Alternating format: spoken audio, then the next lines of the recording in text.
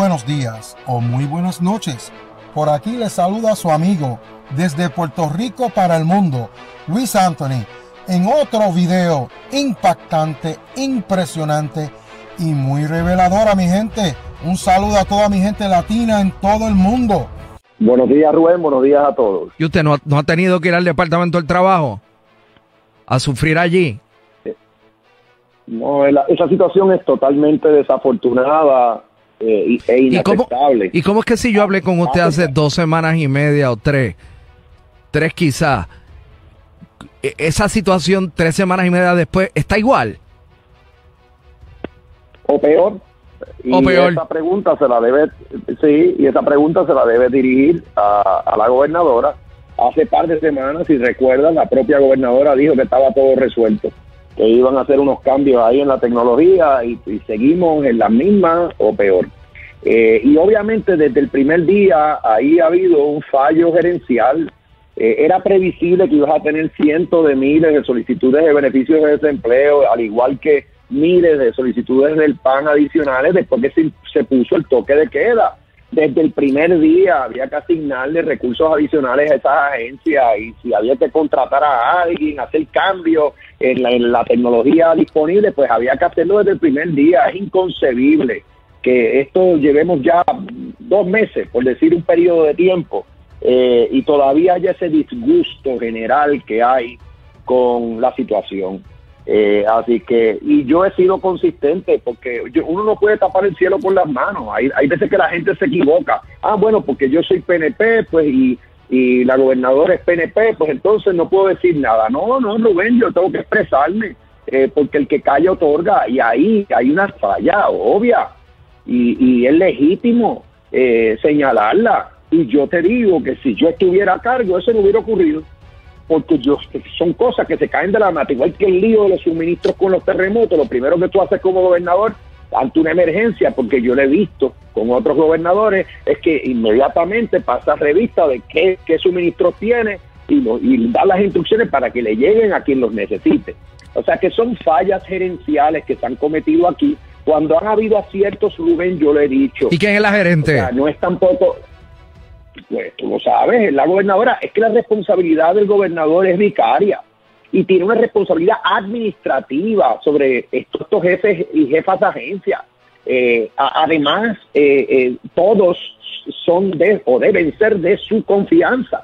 Si, si por alguna razón pierde la confianza, pues tiene que entonces pedir renuncia. Ahora, en este caso, la responsabilidad es claramente compartida. no hay de otra. Lo he dicho y lo, y lo voy a seguir repitiendo. Hay que acabar de resolver ese problema en el Departamento del Trabajo. Toda esa gente que han perdido su empleo, que están desesperados, algunos no tienen ni alimentación, buscando esos beneficios cuando sabemos que hay, pero una cantidad nunca antes vista. El gobierno federal está dando 600 dólares a la semana para cualquiera que esté desempleado por encima de los beneficios usuales de desempleo. Oye, Rubén, eso, eso es una cantidad significativa. A la que mucha eh, gente tiene derecho. sí, esto por eso es que esto llora ante los ojos de Dios y, y, pues, y, lo, y, siento mucho si algunos pues quisieran que pues porque yo soy afiliado al PNP y no, no, mire, no, no, PNP, no, no, me quede callado. No, no, no, no, mire, mucho porque las responsabilidades son individuales. No, no, vamos a poner algo en perspectiva, que para algo yo estoy aquí. Yo no estoy pintado aquí en la pared. Yo sé que usted va a una primaria contra la gobernadora y yo sé que a la menor provocación usted utilizaría el tiempo eh, ideal para caerle encima o para sacar ventaja. Pero dependería de mí permitir eso. Yo lo he dejado hablar porque lo que usted ha dicho se ajusta absolutamente a la verdad. Si fuera que usted estuviera politiqueando, yo lo hubiese parado, lo hubiese dicho, mire, este, pero es que lo que usted ha dicho es lo que está viviendo un montón de gente. Ah, hay algo que usted dijo que yo no lo sé. Usted dice que si usted hubiese sido el gobernador esto no hubiese ocurrido. Eso yo no lo sé. Pero yo lo que te puedo decir es que cuando, cuando yo tenga el favor del pueblo, ese voto de confianza, yo le garantizo al pueblo que va a tener mejor gobierno, que va a tener un gobierno de excelencia, que va a tener un gobierno que le va a responder, porque eso sí, cuando a mí me toque gobernar, yo voy a tomar las decisiones administrativas y gerenciales que hay que tomar. Eh, eh, y no voy a estar echándole culpas a otros, voy a asumir mi responsabilidad y si cometo errores lo voy a admitir, porque eso es lo que te, eso es lo que te da credibilidad, no es decirlo de la boca para afuera, es tú crecerte ante la adversidad y cuando cometes errores corregir y asumir tu responsabilidad. Mira, no por cambiar el tema, pero es como el asunto ese de las, de las pruebas. ¿Cómo es posible que alguien pretenda defender ese, ese proceso de, compra de pruebas, una cosa tan importante como esa para la salud de nuestro pueblo, se ha visto en esa investigación cameral y sabe Dios en dónde van a acabar las investigaciones federales, que eso ha estado plagado de irregularidades. Si en alguna área tú tenías que tomar las medidas para que el proceso fuera transparente y fuera justo y, y, y, rápido, era ahí. Y no se hizo. Y por eso yo levanté mi voz en cuanto a eso. Yo, yo voy a voy a hablar de eso con usted, pero pero mire, eh, otra vez retomando esto que está ocurriendo en el Departamento del Trabajo, cuán complicado para alguien que ejerza el poder eh, puede ser, eh, pues, organizar, identificar, organizar y distribuir un dinero ¿Cuán, complicado puede ser eso de, cada persona que someta una solicitud de beneficios por desempleo? Eh, pues, pues yo la verdad es que no sé por qué es que esto se decretó el lockdown el 15 de marzo, pasó el 15 de abril y ya había miles de personas con problemas, pasó el 15 de mayo y estamos peor hoy. La verdad es que yo, yo no lo sé y no lo sé y no sé si esto alguien lo pueda resolver porque es que cada vez es, más grave. Es, que si es que es tan sencillo como que le das el beneficio sujeto a auditoría, le das el Pero es que todo el mundo sabe eso, que el que someta una declaración falsa o se aproveche de lo que no le corresponda puede ir preso. Pues exactamente, pues dale el beneficio si hay una necesidad obvia en vez de estar con que si, que si, eh, eh, eh, más papista que el Papa, ah, no, que no llenas este encasillado, ah, que espérate, que esto es incompatible, no, que si lo otro, hombre, déjense, que se dejen de todos esos tecnicismos, den los beneficios sujetos a verificación, auditoría, y el que haya mentido, el que haya hecho alguna representación falsa, pues tiene que responder. O, y, y, y, y entonces se le confiscan los beneficios otorgados.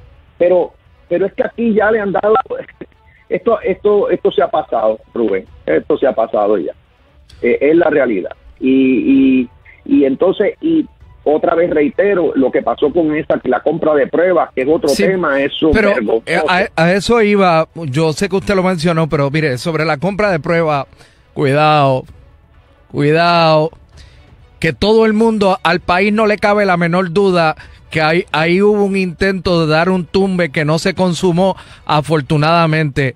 Eso no eh, quiere decir que no se eh, persiga responsabilidad o se imponga responsabilidad sobre quien intentó dar el tumbe o sobre todas las irregularidades.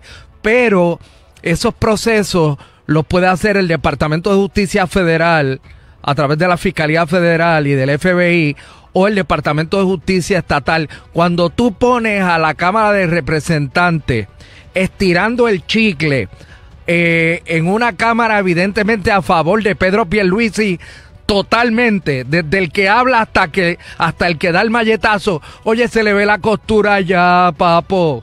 Ya. No, no. Ya, ya, ya, ya, ya, ya. Perdona, perdona Rubén, estás mal en eso. Hubiera sido una irresponsabilidad de la Cámara mirar al lado esa misma Cámara y ese mismo representante que preside esa comisión fue el que investigó al negociado de ciencia forense cuando había un salsipuede con los cadáveres en Puerto Rico. Y como resultado de esa investigación, se cambió a la, a la, a la directora del negociado y, y, ese, ese asunto quedó atrás. No había primarias, una cosa es una cosa y otra cosa es otra cosa.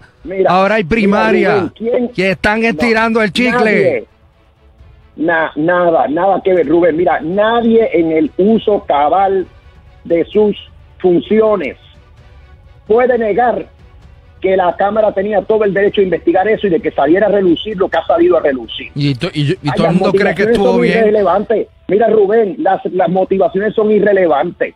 Si a- a- esos representantes tienen, tienen criterio propio, pero si tú te pones entonces aquí a decir que cada vez que alguien que me apoya a mí está actuando por a favor de mi candidatura, los está, entonces si prácticamente casi todos me apoyan, entonces ¿qué va a pasar?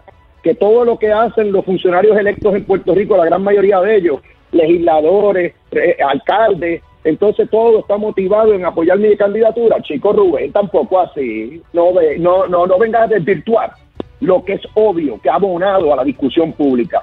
Porque lo hemos visto en los medios de comunicación. ¿Y qué le corresponde a la Fiscalía Federal y al Departamento de Justicia Estatal? procesar, en su momento procesar a quien tengan que procesar. Y a la Cámara, ¿sabe lo que le corresponde? No es procesar, es hacer los hallazgos que puedan hacer y hacer las recomendaciones que puedan hacer y hacer los referidos que puedan hacer. Pero mirar a un lado hubiera sido una irresponsabilidad, porque tú hubieras sido el primero que hubieras dicho, aquí están tapando. Ah, como la persona, una de las personas... No, no, no, no, no, perdóneme, perdóneme, yo no dije que ah. la total, la, yo no dije, oiga bien mis palabras, que yo no dije que la totalidad de, la investigación ha sido una pérdida de tiempo o un intento político partidista de lavarle la cara a alguien. No, yo no dije eso, yo dije que hay un momento en el que evidentemente tú tienes unas responsabilidades que descargar legislativamente, investigando, anotando, descubriendo, etcétera. Pero, pero, pero como que ya es cuestión de que las autoridades federales o estatales metan mano, si van a meter mano, pero no sé, esto de salir Es en tele, esto de salir en razón, televisión a dar- a veces le gusta a la gente. sí, sí. Bueno, pero te voy a dar otra razón por la cual es legítima esa investigación. Porque ahora todas esas autoridades tienen mayor presión para hacer lo que tienen que hacer, comenzando con el Departamento de Justicia, porque ahí ya ha salido a relucir un montón de irregularidades. Y, y- y ojalá que eso no se vuelva Oiga, a repetir. Porque y una- algo tan delicado como la salud de nuestro pueblo y las pruebas Y una que son pregunta. tan, tan importantes en este, en este tema del, del coronavirus. No, pues seguro que eso había que investigarlo. No me con eso. Oiga, oiga, no se me... Mire, antes de terminar, como usted me habló hace algún rato con relación a lo que está ocurriendo en el Departamento del, en- del Trabajo, de lo que es la responsabilidad vicaria en la cuestión gubernatorial o gubernamental, igualmente la gobernadora tiene responsabilidad vicaria con lo que ha ocurrido aquí, en lo de las pruebas, ¿En qué área? en lo de las bueno, pruebas. es que lo que fue inconcebible, bueno, perdóname, lo que fue inconcebible también es que salió en defensa de todo el proceso en una conferencia de prensa y lo primero que ocurrió es que cuando empezaron a declarar allí bajo juramento diferentes testigos, eh, lo que había defendido era indefendible porque enseguida salieron a relucir las irregularidades. Tú no defiendes estas cosas, tú lo que dices, fácilmente, mira que se investigue, se, se investiga hasta las últimas consecuencias, sea quien sea, y no te pones a estar imputándole motivaciones a legisladores. ¿Qué es eso? Eso está mal, eso no se hace, eso no se hace. Eh, uno tiene que respetar también las instituciones, más cuando eres gobernador o gobernadora, y tienes que respetar la función fiscalizadora de la legislatura, y no puedes estar cayéndoles encima supuestamente porque, ah, porque favorecen al otro. Gran cosa. O sea, que asuma su responsabilidad y que mínimo diga que se investigue. Y si alguien tiene que responder, incluyendo eh, personal de su confianza, que respondan. contra contra quién es que contra quién es que usted va en primaria el 8 de agosto Es el 9 de agosto. Obviamente la gobernadora decidió aspirar eh, en diciembre del año pasado, siendo gobernadora y habiendo dicho que iba a administrar el gobierno hasta el final del cuatrienio, pues ahora el pueblo eh, PNP es el que va a decidir y va a decidir entre este servidor con mi trayectoria, mi compromiso eh, y la gobernadora con el desempeño que ha tenido desde que asumió su cargo. Es tan sencillo como eso y el pueblo PNP va a decidir quién va a estar a cargo del gobierno en los próximos cuatro años y quién va a ser el que va a liderar el esfuerzo por lograr la estabilidad. Y esa es la decisión que tiene que tomar todo PNP que acuda a esa primaria. muchas gracias Pierluisi Muchas gracias, Rubén. Muy buen día a todos. Buenos días.